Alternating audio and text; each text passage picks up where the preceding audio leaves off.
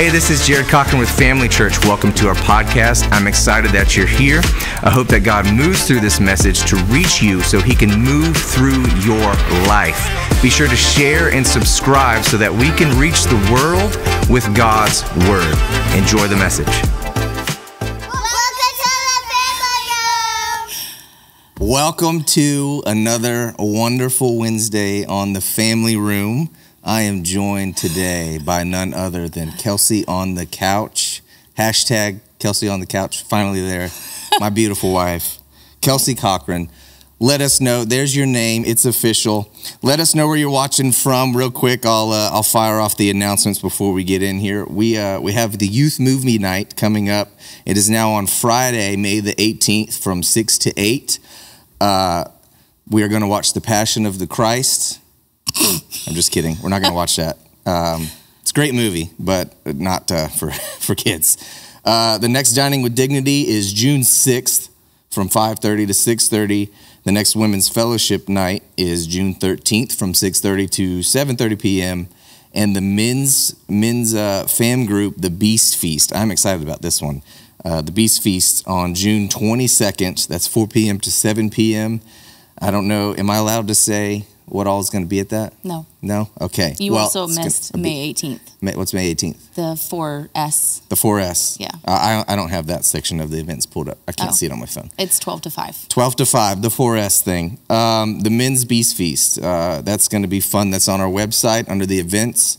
If you guys want to look that up. But uh, yeah, let us let us know. I forgot where my notes are on And here. the marriage uh, The, ma- yes, the marriage thing. When is, is that? the following weekend, The following weekend. Friday. Friday. What's the The- date?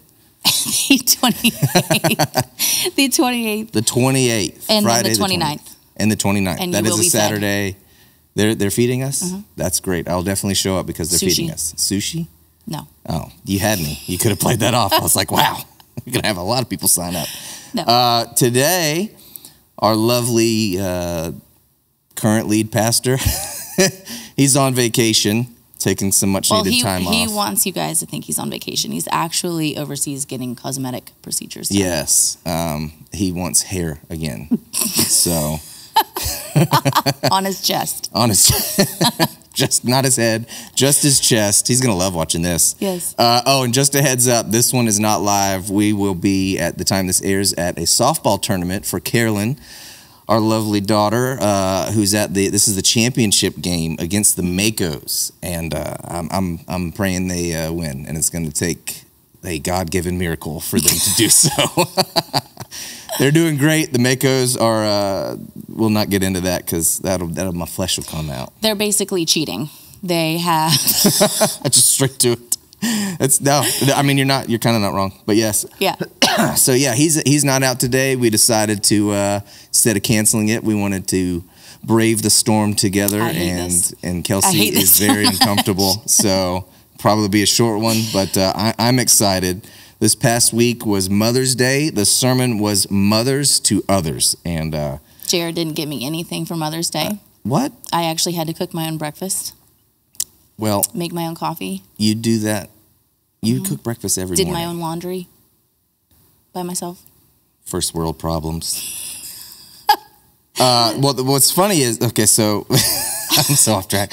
The first thing uh, that I wrote down when I was listening to it, and I listened to it again this morning, was uh, towards the beginning, and it was such a call out for men. And I was like, I, I've got to mention this uh, on the family room: was that you can't be a man unless you learn how to respect women. I made a clip out of that. Did you? Uh-huh. I'm excited to see it because we are in such a mess with society. Just uh, and and you've harped on it on your Facebook a lot, where men, you know, there's just like this feminization of women, and it's not that women aren't capable because obviously like you there's there's independent women out there that uh, they're very capable. They don't need to rely on someone. It's just kind of like an added blessing to have someone.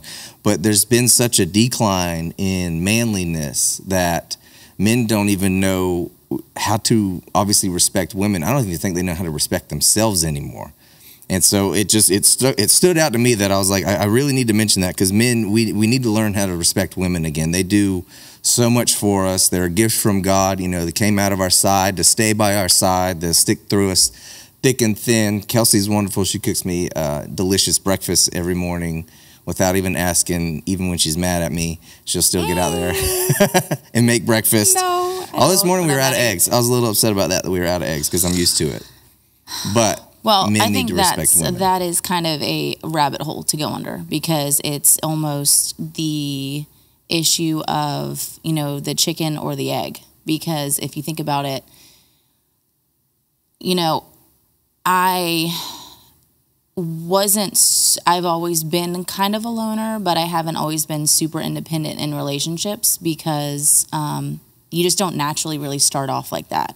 You kind of go through traumatic events to where you learn and this isn't right but you learn you literally can't trust anyone and so it's best to just do it by yourself because you know if you mess up what you're doing for yourself it's not as bad as um, you know someone else letting you down. So it kind of why are you doing that with your eyes? I'm smiling at you. you kind of it's a learned behavior.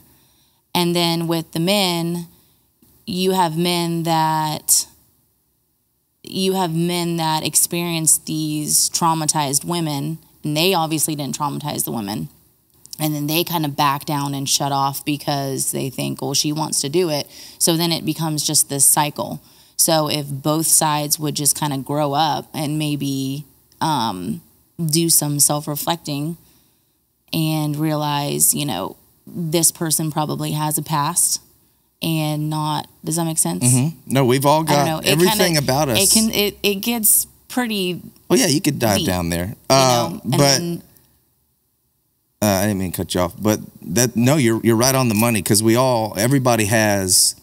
I think at the at the most simplest I can think to like sum that up is we're all we almost always make ourselves the center of our story to where we forget the other characters that are along with us, and uh, so it's we don't realize you know we're we're always so wrapped up in what what we're doing what we're going through that we don't ever think okay.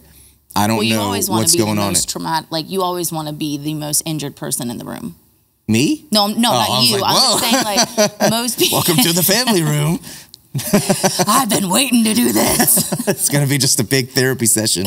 No, it's it's this is totally off topic, but it's most people want to be the most you know traumatized person in the room. They want to be the most you know victimized. Most people do because it gets you get the most pity, you get the most. it's um, probably, it just stems from um, wanting uh, validation and attention that they Mm-hmm. go out and they seek it in. I mean, and that leads to, uh, I'd say on both sides of the coin, men and women, it would lead to um, how we seek out nasty things in people uh, just because we, um, what's the word I'm looking for? We, we just kind of like accept behavior that's done towards us because we're, we're just so desperate for validation or attention or love. Um, you know, there's that phrase that a lot of us in America, or a lot of people in America are uh, oversexed and underloved. And then there's the thing with men that there's so many men that grew up without a father, so they don't have that fatherly role model to help guide them, or you have, um, you know, a, a father that may have been just completely disconnected, connected, or just didn't show you how to do anything, or he was abusive. So there's all of these variables that go into people's lives to where we get stuck in the rut of you know we're so wrapped up in our day to day that we don't realize that every single car that we pass on the side on, on the road has someone in it that's going through god knows what and has gone through god knows what. And it's just that's the the the side the the downside is just that we we need to get back to that biblical role model of loving others as we love ourselves. And you know maybe a part of that is getting back to just loving ourselves. I actually i saw there's some like story thing that pops up on snapchat and there was a story on there uh, it's just like one of those things where it's like text and voiceover. And it was like some guy and his wife they had they had a, a good relationship and he traveled a lot for work and then she ended up having an affair but with another woman and then she felt bad when he came back wow. came back and told him about it and it just like completely crushed him and their marriage like you know just had this huge wall in between them, and he was uh, whatever. There was all these issues and, and the hurt and everything, and they were just completely distant. And then they finally, uh, they finally sat down, or she sat down with him because she was like trying to make it right and prove to like she quit the job that the lady was at, like completely did everything to show him like. You know, I know I messed up. I'm sorry. I want to make this work. Like she was trying, but he was just so hurt and he was still dealing with it. And I don't know the timeline, but she finally sat down and like just got real and raw with him about her emotions and her feelings and all that and then they made the decision to go to therapy and through I mean, the therapy should have been therapy yeah i don't know why they took know. so long to get to it but everybody grieves in different ways i guess um, but they just they went through the therapy and through being able to sit with someone else and voice various things and you know in an open environment where it's not going to lead to A you know- non-biased environment. yeah non-biased Don't environment sit down with your friend yeah and because your friend's going to back you up, hopefully. Yeah, they'll give you bad advice almost not every time. back up probably your husband It- yeah non but the the thing we you said a couple minutes ago where we need to get back to the biblical thing um the big yeah that part um you know it's i think that if we really went back to and this is we just went completely left field like It's we went family room. mom's psych it's family room. They everybody So loves the input from everything. It's just nice to it's converse. and I never felt, you know, the the the biblical way of um, what is it, Proverbs? Thirty-one. Yes, I don't know, maybe. um, uh, I don't know. So you're right. Sure, you're right. um, uh, no, where it talks about the husband's role and then the wife's role. So I don't think that's Proverbs. No, 31. oh, I thought you were saying like the Proverbs thirty-one women thing. I don't remember. No, I'm drawing was- a blank on the on which one you're talking about. Somebody Um, will chime in in the comments because you put me on the spot, and I'm like, Ugh. so. But yeah, the You're the in school. husband's role and the you know everybody always ooh husbands. Yeah, and that to me, um, like from personal experience, I absolutely would never cook anybody breakfast because Really? Well, I a- feel you're a whole grown man. now. You can cook your own breakfast, and you also are rude. I'm not going to say the word I was going to say on this, um, but I I never. Um, I'm not going to say servant wise, but I never wanted to serve a man because I mean, maybe it was my choices and it probably was, but I never really had someone that, you know, I felt happy about doing that and naturally wanted to do it.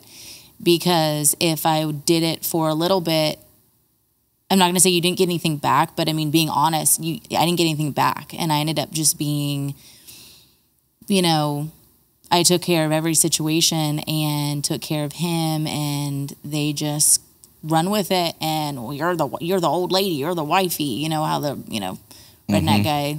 Some old lady or whatever. Yeah, the old And ball and chain. It's all a, all like, negative okay, phrasing. You know what? You say that in front of Bill and Bob, but then we get home and you're like, oh, I need a hot Curling shower. up on Can you your- turn on your lap, shower. And it's like, no, bro. Pet their head like Um, a small child. Yeah, so it honestly, when I can honestly say, when you're in a relationship where the man is doing that part, and I mean, it's taken you a little bit, but I mean, it it kind of came naturally, I think, for you when you started getting back into the Bible. Like when you started really doing that, it came naturally for you.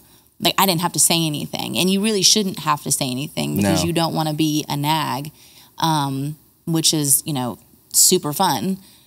It really is fun. I love nagging you. oh, thanks. That's great. So uh, no, it's it comes naturally. So you'll find yourself because I used to read the Bible like, okay, I got to remember that I'm supposed to do this and this, and you make it a checklist. So that kind of tells you that you're not really you're not really living it out because you shouldn't have to sit here and memorize your checklist. Um, if your dad was here, he'd be like, "That'll preach." I'm preaching this before I get out of here. I'm gonna write this I'll steal that. He'll do his little Oh. eyebrows up like he does on the reels. They go, But breathes in. No, you're you're exactly right. Yeah, and so it, it comes supernaturally and not supernaturally. No, you were right. It comes supernaturally So because I, I, that, and that's where I was going to take it was. There's so many people we, we you know that that's not reading the Bible. You know that's it's like the world. When you're in the world, you're of the world, and there's just complete everything about relationships Yeah, like I can tell if I don't do are completely devotional or broken. do devotionals every day. Yeah. I can tell. And that's the thing with not being in the word, the word doesn't get in you and it doesn't transform you and you start being transformed by the world instead of the word. And the world has such a bro I wasn't trying to do that. Um, like Jim in the office. but it's you know, I mean, you listen to to a lot of the popular music and it's like super degrading towards women. Oh, it's like, oh, so. And I don't even know, before we got I've, like, back. cut it. Before we got back into church, like I would work out to. We're not going to say because if my mom's watching, I mean, uh, anyway. So I used to listen to, you know, Pump up the jam. It, yes. um, and it, you don't really think about it, but it's if I go to put any of that on now, you're like, oh, ew. It's- you it's just kind of you kind of recoil. Yeah. And it's not. I mean, it's a real thing. You literally recoil and just kind of ah.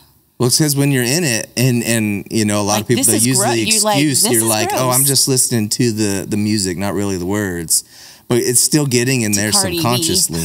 yeah, it's still getting in there subconsciously, and then when you step out of it, it's kind of you know like like he uh, mentioned Sunday that he hadn't had sugar because he's doing that ridiculous carnivore diet. No, he hasn't had sugar because he does this every time before a trip, cosmetic That's right. surgery, and he's gonna kill me.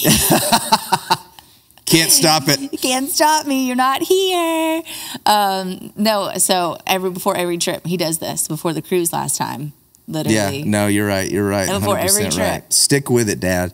Yeah, Dad, stick with it. No, because I've done dad. I've done like the Daniel fast a couple times, which is just uh, fruits and veggies and water, and generally for 21 days.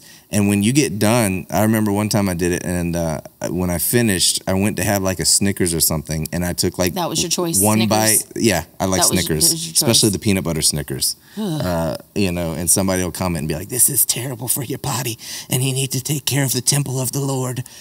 I still They like sound Snickers. just like yes. I don't know. My voice was giving out. Um, that's how I imagine they sound. lady. That's how I read nasty comments. There's always some some voice that I'll put with it. I really hope you guys can But, hear uh, this chair squeaking every time I. Oh, I hear it every time when we're doing it with him. And it's like, mm. Sorry, um, I won't breathe. but yeah, I went to have the sugar, and we'll get back to the message in a minute. But I went to have the sugar, and uh, I just remember it was like, holy cow! Like when you disconnect from it, and then you go back to it, it's it's like that. It's re- it's repulsive. You recoil from it. So that's just the thing. Like even with music, like whatever you're putting, because I guess you can you know technically argue that's Hey, putting it into your body, because you know like not physically, but it's still getting in you. like and when the you Snap get out of TV shows and Yeah. stuff. I used to watch the, you know, the serial killer thing. I was just obsessed with, and then it would be, I would watch it when I got home, and then remember, I mean, it'd be like every you night, have and horrible then nightmares and everything. I'm like, And I think it's what you're watched on TV. No. when I was driving around doing the the driving around doing the uh, home health, like my podcast would be Mm-hmm. the um, two girls. I don't remember what it was called. I know, actually. yeah, but the- yeah, and yeah, it was just about they one. would just talk about a certain, you know, murder or a serial killer, and I was just fascinated by it, you know, and you know, taking tips, writing stuff down. Not um, how to kill people. Let's I was going write that way. that. I was oh, making a joke. okay. I was gonna say, well, somebody's like, whoa. Kelsey is really into psychology and stuff like that. Let's so- disclaimer. Yeah. So, um, and I started. I mean, it was the nightmares were bad. Mm-hmm. They were, yeah, I remember it was. That it was, really, really bad, and I'd wake up in the middle of the night seeing stuff, and and it was finally just, hey, maybe this is a problem. And then now we watch cooking shows. Yeah, I'm ready to not do that. Our kids right now are obsessed. What is it? Is it cake? Yeah.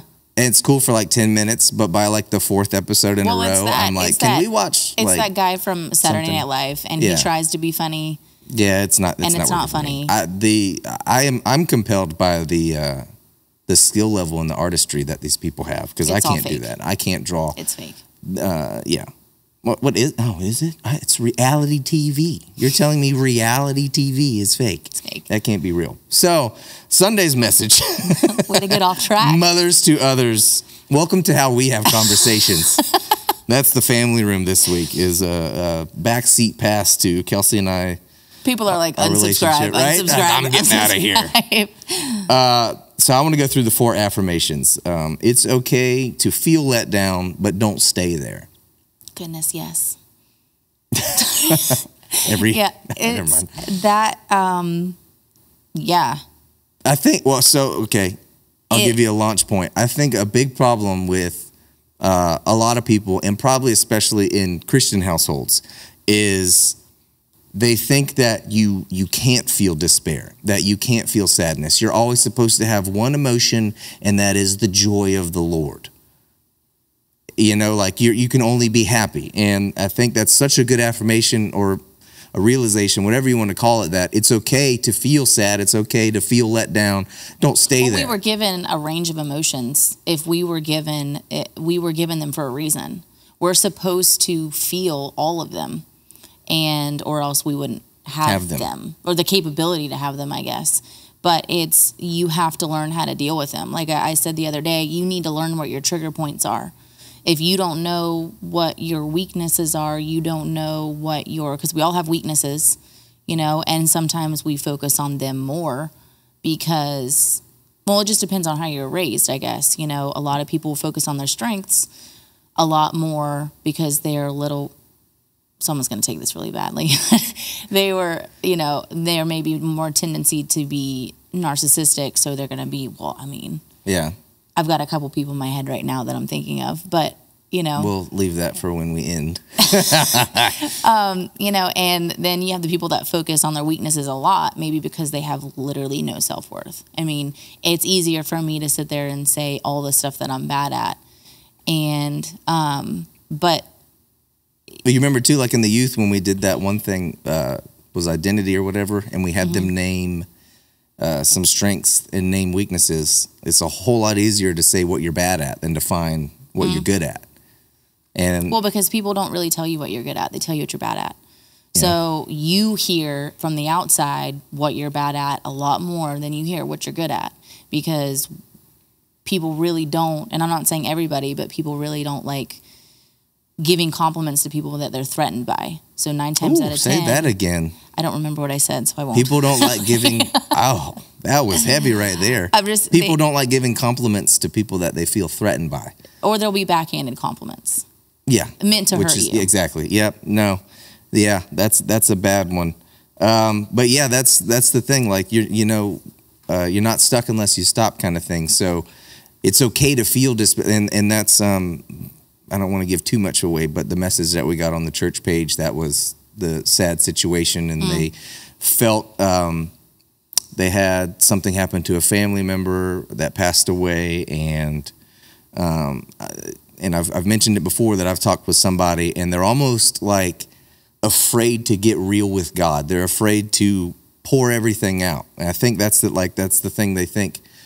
You know, like, oh, I can't talk to God, and it's like he already But he- he knows he literally already everything. knows. Exactly, he So knows what you're going to say, how you're feeling, and everything. He just wants you to bring Yeah. it to him, and that's what some something I realized when I was responding to them. I was like, you know, like we're okay with opening up to each other. Like I'm You're okay with super cussing mad at somebody on the internet. Yeah, and all and this, telling them but that then they're like, dumb, oh, I but can't bring this to can't- God. Like, Yeah. no, He wants you to get real with Him, and I, Yeah. and that's one of the things I told him. I was like, you look at the Psalms, David all the time when he was going through something, he's like, you know, like this is terrible. I feel like I'm dying, yada yada. It was just like uh, all this bad stuff, and it's like if if we weren't uh, supposed to feel that kind of way, like you were saying, we wouldn't have been given that emotion. And God, the Bible being, uh, But that doesn't give you an excuse to be willy nilly well, exactly. and just run around and be like, I'm just naturally an angry person. Well, and no, God that's gave me different. anger, so No. I can punch you in the face. That's toxic. Yes. But if, if it's in the Bible, it's there for a reason. Everything that's in the Bible is there for a reason. And the fact that God left in these Psalms that David wrote in his darkest moments of how he felt,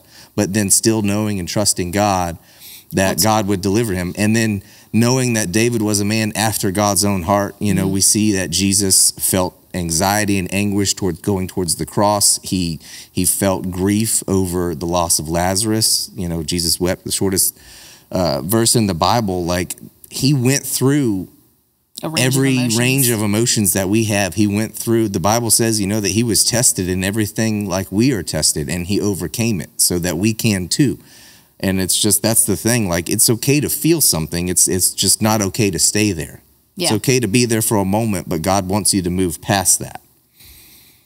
Mm-hmm. Mm-hmm. the uh, the second point was from God's point of view, you are the exact mother that they need. That one hit you hard.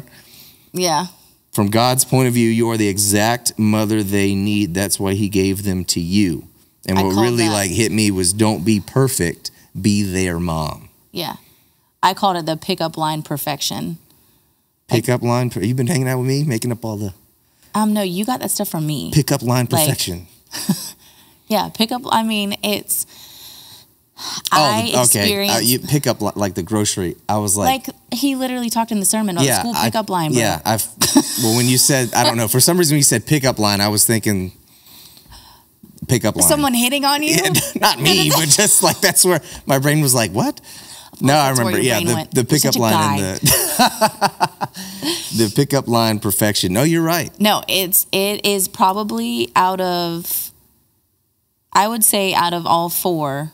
Well, number 4 was kind of blah. But I would say out of all four, this one is the was the most um ouchy. Ouchie for you. And to be honest, my question though for him it was How okay, dare you think that you're not a mother? No. Uh, No. no. Um, was what about the moms that abandon their children and drug abuse and are not good mothers. So that I mean, that ties in me, like with number four. Some. but I forgot what number. Four. I'll we'll get there. Go ahead. I don't want to cut you off. You had a thought.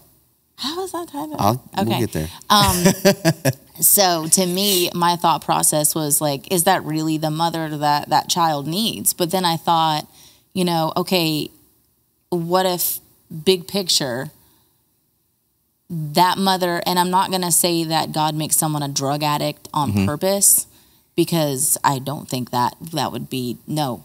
So maybe you know he allowed that to happen because he obviously sees the future and knows that child wherever that child would go like the foster family that they would go to or like the grandparents you know.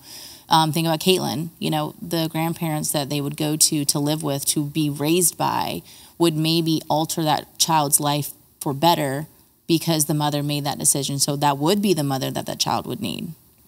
That's really dark but just No, thought. no, you're But right. I- Um, just to me, like the biggest thing that I've had since I became a mom was just you're not good enough because you don't put a baby bow or you know a bow in your kid's hair. You don't dress your kid's hair in the matching outfits. Dress your kid's hair. You don't dress your kid in the matching outfits. You don't I don't care about certain things that I see mothers all around me caring about. But what are they? I don't want to. I don't want to. I'm just telling you my insecurities. people. Like this is why this affected me because I have a huge insecurity and the situation we're going through walking through right now, you know, with you know Carolyn Mm-hmm. and her father, you know, um that situation of getting harped on that basically a magnifying glass on my mothering and someone saying to me, You're not a good mom, you're a horrible mother, I know someone that could do better, you know, that type of. I'm not quoting anything for legal issues at this point in time, but just, you know, being totally pulled out and ripped apart and just uh, judged on every level of parenting that one can possibly be unfairly judged on um, really makes you insecure. And it makes every single decision and every single step you take like, oh my gosh, is this right? And it's like, okay, right to who? You know, right to an angry little man or right to God? You know, who is this? uh, You no, know, you're right.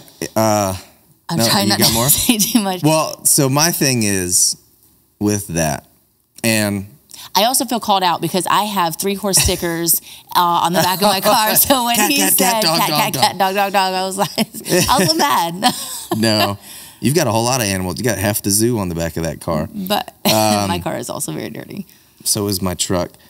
Um, my thing with and and not that there's anything wrong with dressing your kids in matching outfits or anything like that, but I think the problem is we live in such a an Instagram filtered social media society where I think a lot of people unfortunately do these things just for the the clout on the on the internet to look like the perfect family. And more often than not, the people that yell the loudest and uh, you know speak the loudest and want to discredit the loudest, they're always doing the least. Uh, you see it everywhere from from jobs and careers. You see it in, in churches constantly that nitpick every little thing, but they're always the ones that are just coming in. They're not doing a single thing at all. They're just it's easy to be a backseat driver kind of thing. And there's mm-hmm. just that unfortunate there's the unfortunate uh, reality that we're in right now where everybody will will do that. We'll dress the kids up we'll get this and you know we'll put it on Instagram after we took 97 photos to make sure everybody was smiling even again, though we were all cussing nothing, each other out in the background. wrong with that. No, and I'm not but saying that, but don't say where's I'm your not heart a good mom because I don't want to live like you're living. Yeah, that's the problem because there's different there's different personalities, mm-hmm. and so there's like yeah that's great you can dress your children up that's great you can do this you can do that are you meeting their needs psychologically are you meeting their needs? Are you, are you loving them like they need to be loved? adult. Exactly. And are you living out your childhood through your children? You know, mm-hmm. something that you didn't go through. And that's, you know, that's something like you're saying, like, uh, like a drug addicted mother or something, somebody that, that just doesn't love their kids, that gave up their kids, someone that's not fit to be their kids. Mm-hmm. Obviously, um, you know, in a perfect world, that wouldn't have been the case. They wouldn't be addicted to drugs. But unfortunately, the devil has created well, all of note, this stuff and problems. Side note, you want to talk about childhood. You know, their drug addiction may be because their something parents their, didn't break yeah. the cycle and it brought it onto them. So and God's using. I'm not saying that that's every situation. No, there's always your parents are awesome. Different not, things. You know. Yeah. We're not going to go there, but um, yeah, it's it's it's hard for me to see and just being completely blunt like it's really hard for me to see it's hard for me to see the moms that physically bounce back after having a baby and they just look and that's just me being brought like it's hard. And i'm looking at it and of course it's on social media i'm looking at it i'm like and they drive like a really nice suv that doesn't have you know a huge dent in the side from animals kicking it. And you know it doesn't smell like nachos. And it you know they go to yoga every other day. And those kids are probably so bored in that car every time done. they get going in that car because they can't do anything except and again the there's so nothing quiet. wrong with it. That's just me saying that's my insecurities of looking at it and secretly wishing like man i wish i could. But i don't care.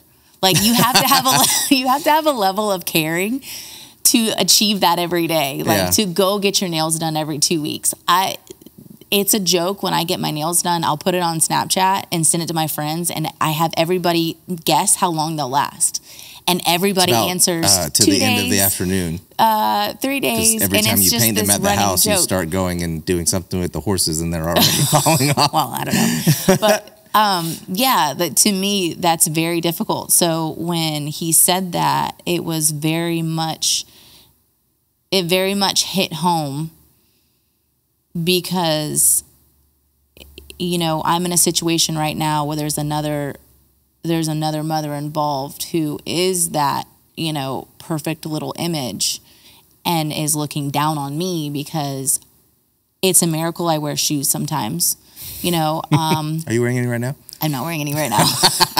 The wonders of tv so you know and it's it, it's I think that feeling that I have is you'd be surprised how many mothers, and maybe even those mothers, feel the same exact way, but nobody's talking about it. Of course not. Because no. if you talk about it, it's oh don't don't because it's shining light on your own insecurities. It's shining light on things that you have problems with, and nobody wants to look like they have problems.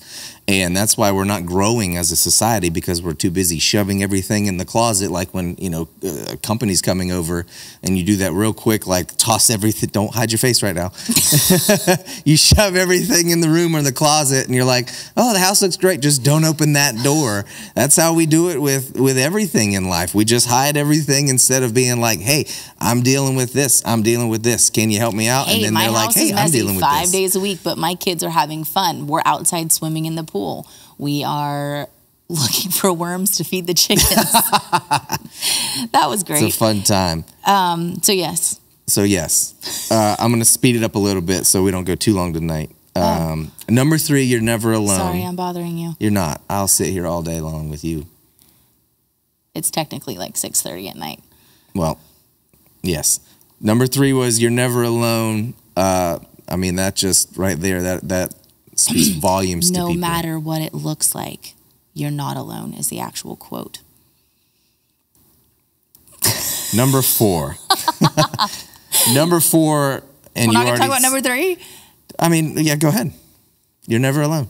Okay. No matter what it looks like, you're never. No, uh, there there is.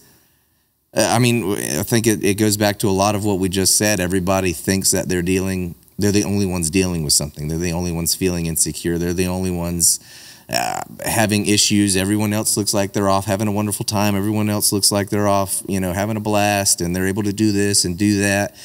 You know, um, something I think my dad used to say it all the time. Like you, you see somebody, and this isn't obviously always the case, but you see somebody with a lot of nice stuff, and you know, a, a new truck, a new vehicle, new house, new swimming pool, new car, new RV, New husband. whatever. You're not getting one.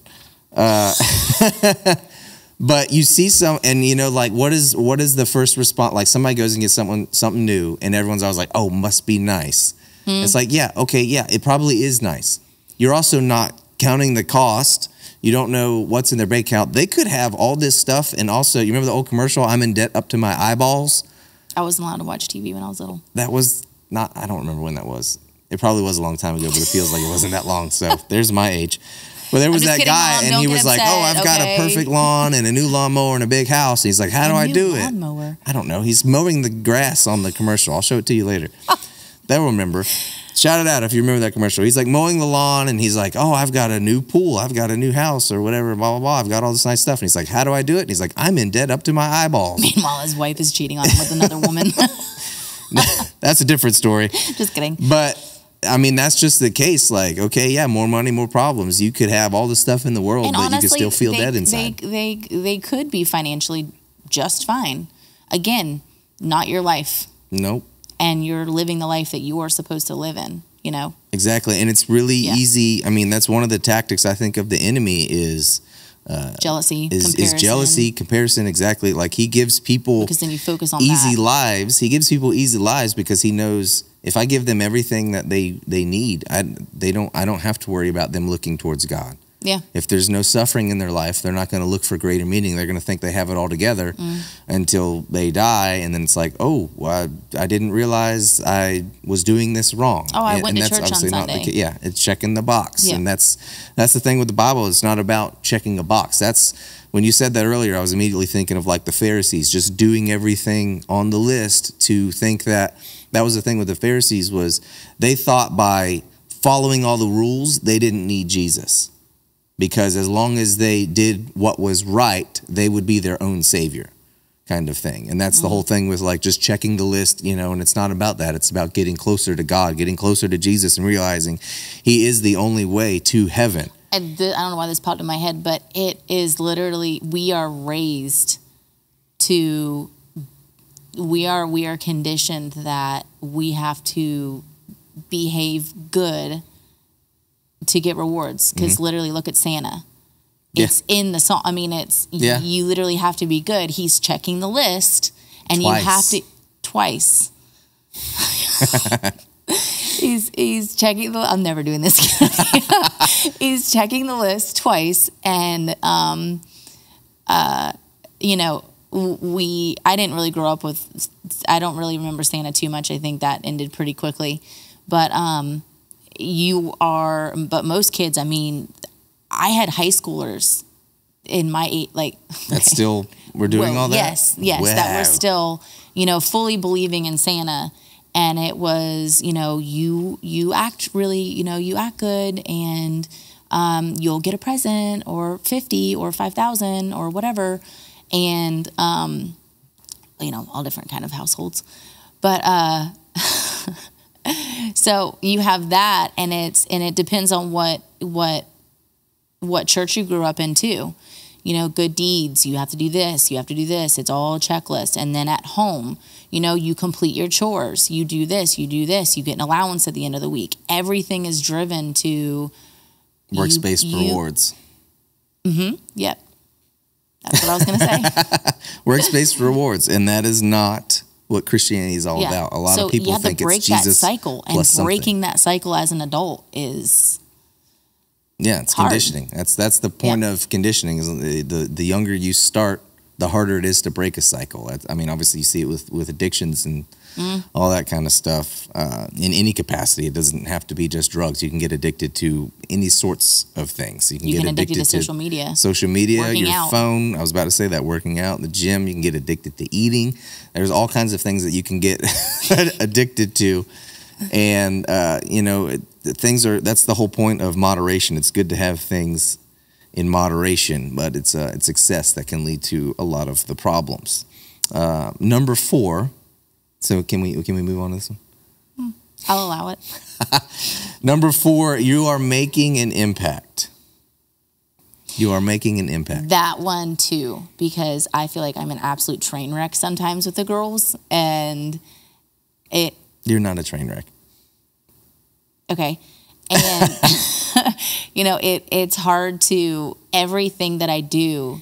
If I say something, I'm like, oh, great, just ruin them for life, you know, and it's yeah that it, it's hard. It, you think about it as a mom you think about it a lot because you want to be this little gentle lamb that tucks them in at night and is just you know floating around the house taking care of all the needs cooking them breakfast. Here go pumpkin pie. Have a good day at school. Yeah, that's and i'm one more like get ready. Like, and it's you want to be this gentle you know your dad talks about um, his mom a lot and i'm like you know, she never said an unkind, you know, all this stuff. And I'm It's like, probably just blocking it out. you know, it's a little intimidating. No, uh, I mean we, we you know we said it earlier. There's there's so many different types of personalities, uh, and obviously that also ties into different types of parenting. There's different kinds of parenting, but then you see. I mean, uh, spare, like the Bible says, spare the rod, spoil the child. And I'm not saying here beat your kids, but when all you're doing is showering your children with gifts and you're never giving them any type of discipline, they're not developing anything Or to be have, attention, or uh, uh, yeah, or to, attention or love. You're not building their their character or you know traits that they'll take into their adulthood for just their career and their friendships. And it's just like that's great to have this and it's great to have this, but you can't have just the one or the other. You have to have the mesh of the both. You know, giving them love, but giving them discipline and connect. Uh, uh, oh, I lost the word. Discipline. You know, and um, just making sure that those two things are intertwined, like you said. A meshing, a balance. You have to balance everything out to create a well-rounded person, Yeah. so they're not just, you know, some entitled Turning 18 person and they're that's just completely yeah. snowballing into. I lost what I was going to say. Well, it's like I mean, you see it with all the the the the adults and stuff that are out now. It's like it's just All like the adults that are just out now running amok. all the adults. they let had them loose. No, the, like the like you know the people that they call the term like Karens and things like that, where it's just all these entitled people. Mm-hmm. I saw. I literally I saw a clip earlier. Um, What you got to think about the Karens are just like really scared, hurt, defensive little children. Yeah, I On mean, some some are just nasty, mean people. yeah, but what makes a nasty, mean person? we don't have enough time to go into all of that. no, I mean, you know, just like spoiled stuff where that it creates that entitlement where they think that they can't be questioned or corrected. Mm. Uh, I, I saw a, a real short thing earlier. There was a guy Can't be corrected. on a what? What? There was a guy. It was like a police body cam, and these this they looked like a super rich older couple had they, this guy was just standing on the sidewalk, you know, like a cardboard sign, and they called the cops on him, and he wasn't doing anything wrong. And the cop goes back to him, and he's like, you know, he's he's on public property, he's not doing anything wrong, and they're like, you you can't do anything. He's like, no, I'm not going to infringe on this man's rights. And the lady like chuckles, and she's like, oh, his rights, and it's like yeah, there's still people. like Dang, Becky. that's just the the problem. And what I added or would add. So the saying point that was his sermon was not complete. You think? no, but when he said it, it's it struck a chord in me. but you're making an impact, and what I would, you know, to me, the question is, what what type of impact are you making? Oh, because you can make a bad impact. Exactly. Like the thing that you spoke on. That's why I was saying it goes into number four. The Mm-hmm. the drug addicts or something. They're making the wrong impact for their children. So you are making an impact. No matter exactly. But you got to check yourself and see which type of impact Do you you're making. exactly? Do Are you want to make a good impact, or you want to make a bad impact? Are you creating a household that is full of, of love and, nurturing, Mm-hmm. and you're caring for your children, or does your house look like a, a, a hoarding uh, tornado went through there and it's just completely unfit for living? Our house Oh. does not look like that. But, uh, well, and it you know it's Riley's unfit for it living and you know like you're you're you're smoking and drinking and Yeah. you, your kids are five Watching years old. that. Making their own breakfast and doing everything for themselves and they're Mm-hmm. basically you know a teenager at, at six you know you are making an impact no yeah. matter what it is doing it is shaping some part of their life Mm-hmm. and that's where we need to take accountability as adults and parents and it's mothers hard to it's to hard to cultivate that. separate it's hard to separate when you're a young adult you know because i would say we're young adults i mean i am kelsey's older than me by six months.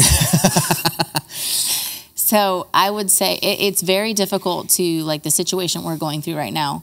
You know it is a daily fight to not bring that into like to completely shield that from the kids.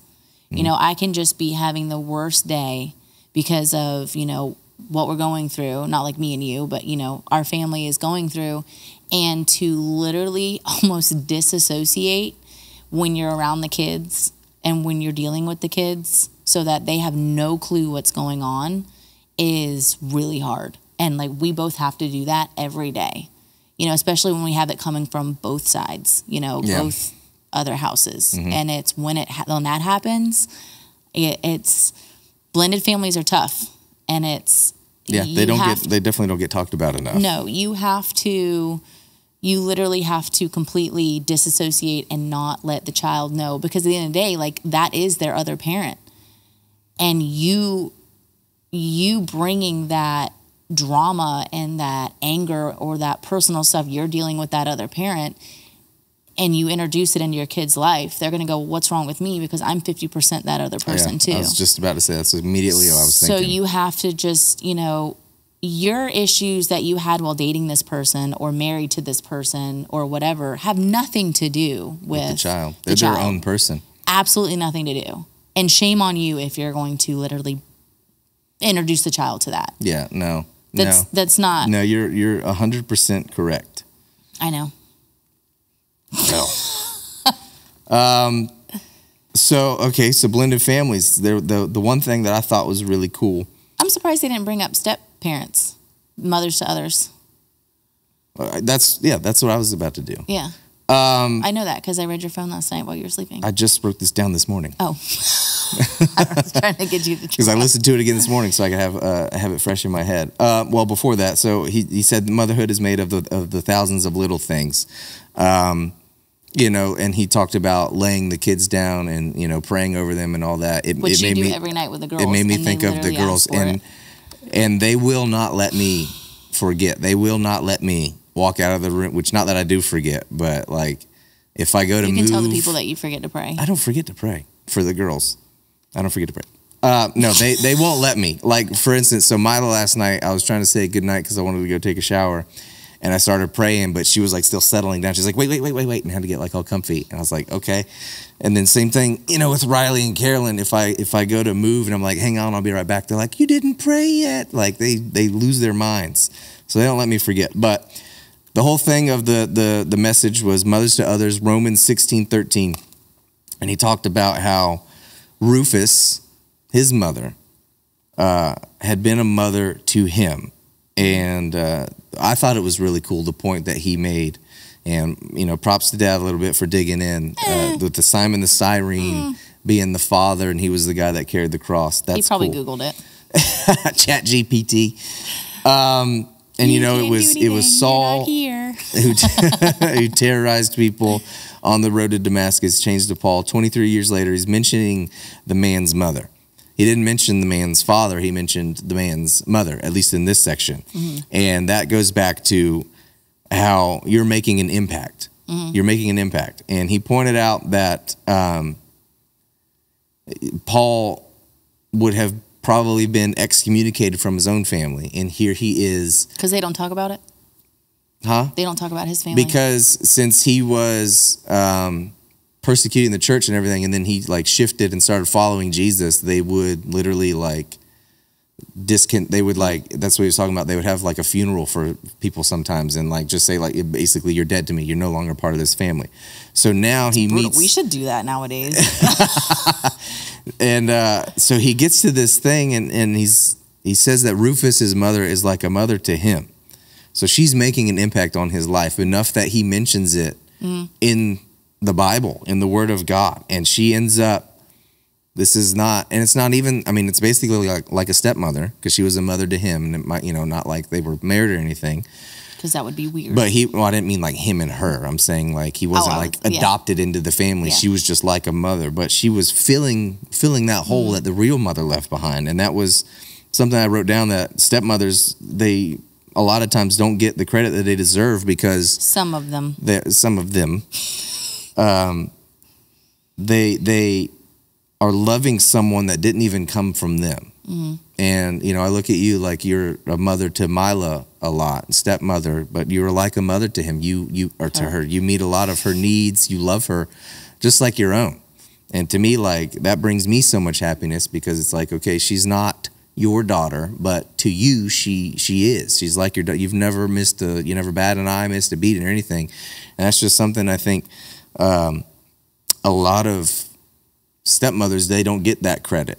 Like they're dealing with loving themselves, loving Yeah. their own children, and loving someone else's children as if their own. And then you know, in situations um, where the other half, the actual mother, or you know whatever, isn't exactly you know it's not like a, a kosher situation. It's not the best situation. And there's contention turmoil and, and all of that. And, Bitterness. and it makes it yeah and bitterness and, and those kinds of things. It makes it harder but it's just a testament to Well, that's where the dissociation mother- comes in. yeah but it's just it's a testament to your ability and others ability as a stepmother to not just disassociate but still love someone Yeah. as their own. And i think that yeah stepmothers uh, have sermon wasn't really- complete the uh, stepmothers really have to realize um, i see a lot of stepmoms that just try to overpower the mom the the real mom and try to take all that control and try to you know i can do this better. You can do this better four days out of the month. Like you have four days out of the month in some parenting plans. And i'm not pointing this towards anybody at all. Blink twice. So no um you know i'm just kidding.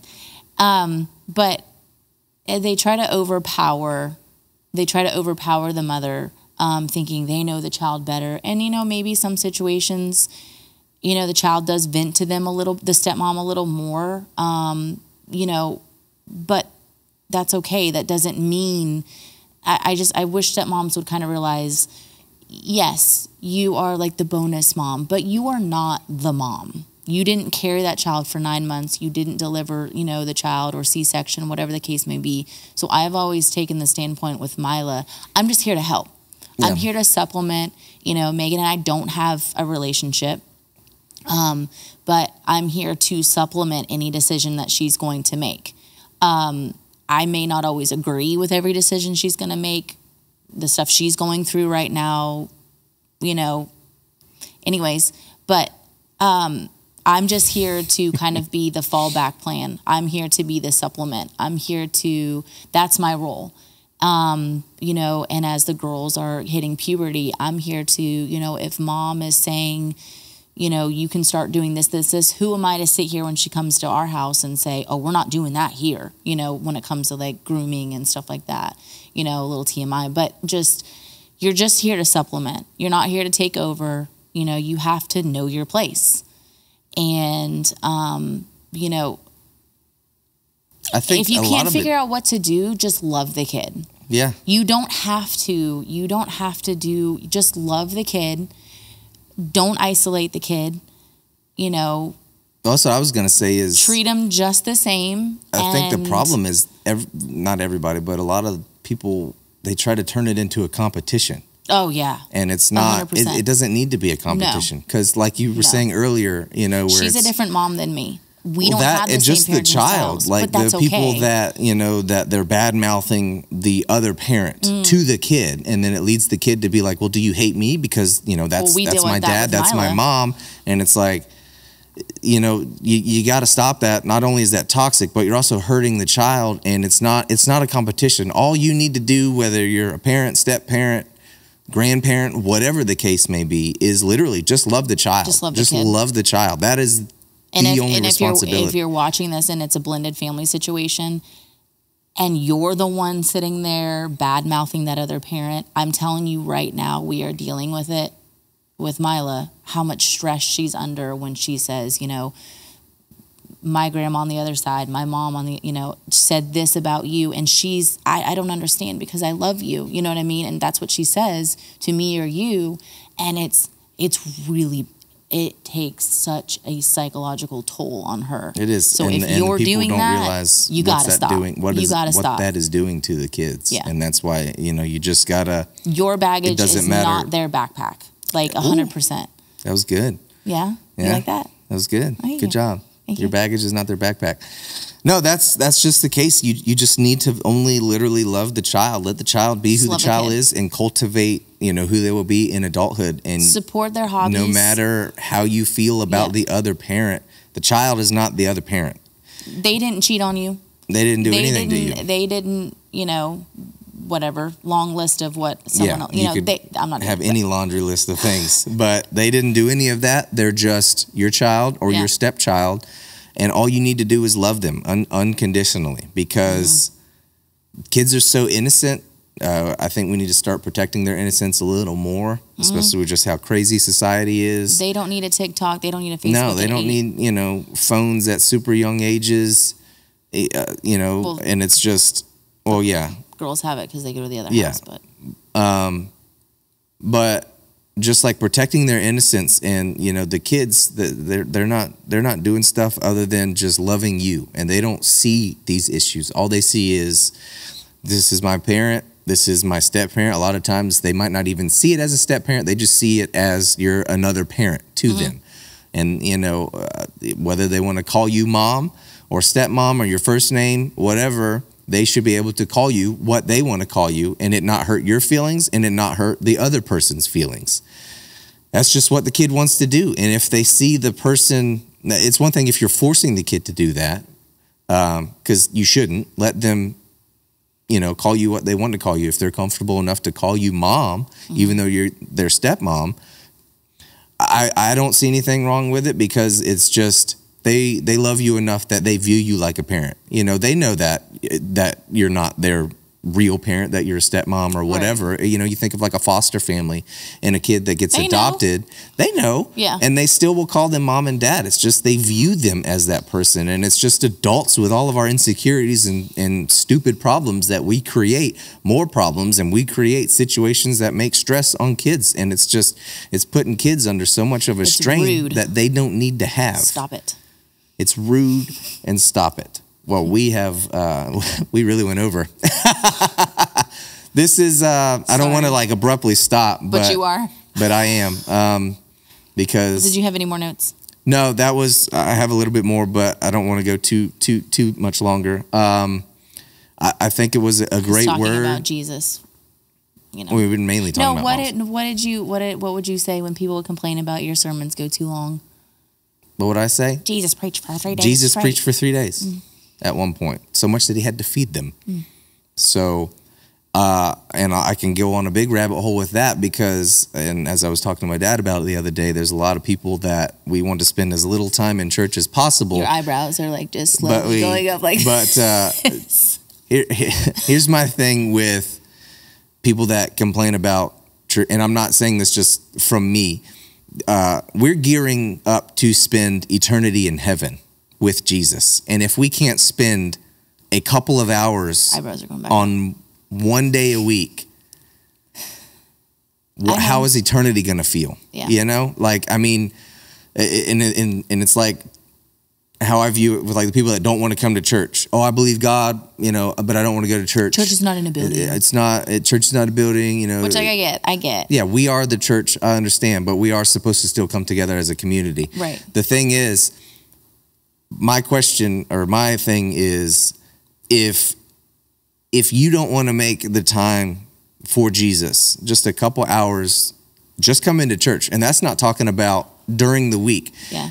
There's so many people that we want to make no time for Jesus, but we want him to make a spot in eternity for us. We Mm-hmm. want to have an endless amount of time in perfection and in heaven, Oh, but we don't want to put in any time Yeah. while we're here on earth. We want him to get us out of a certain situation. And, and then as soon as everything goes good, we probably go a situation that we put ourselves into. Exactly. You look at like the And then- Israelites. All Yeah, throughout the. Old Testament. That's just the entire situation. Get us out, good for a time. Yeah. Oh, we don't need God anymore because it's going good, and then it goes downhill, and then oh, oh no, get us out, God, and you know it's just it's a cycle, and it's like, Mm-hmm. how much better would your life be? Not perfect because nobody said the Christian walk is going to be Yeah. easy and without problems, but you're not going to be in this cycle if you just stay with God. That's how you get the peace that passes understanding. That's how you get that love that makes no sense, that happiness and that joy that makes no sense is just by literally staying with Yeah. Jesus instead of just giving him as little time as possible. This was really interesting because we, we went from relationships. We've done it all. This is the family room for Mother's Day, for mothers to others. Coming up this Sunday, it is going to be Pentecost Sunday. Who's preaching? I am preaching. Oh, oh, I am preaching no this. Pentecost Sunday. I'm pretty excited. Uh, if you're already tuning out, then uh, I'm sorry, but I, I wouldn't miss it. I'm excited about this one. I'm excited. Pentecost you know he doesn't Sunday. let me read his notes. I, I mean, you can access them whenever you want, but Oh, you gonna lie? no, you, my Because iPad's I sitting on the walk- on the I table. walk by as you're making notes, and you're like, oh. oh, I don't like people looking it. over my shoulder while I'm doing stuff. But Okay, when you're writing, either way, I, if is it fun? Put it in the comments. Is it fun if you're working on something? Somebody's like, "Ooh, what you doing?" They're just like sitting over your shoulder.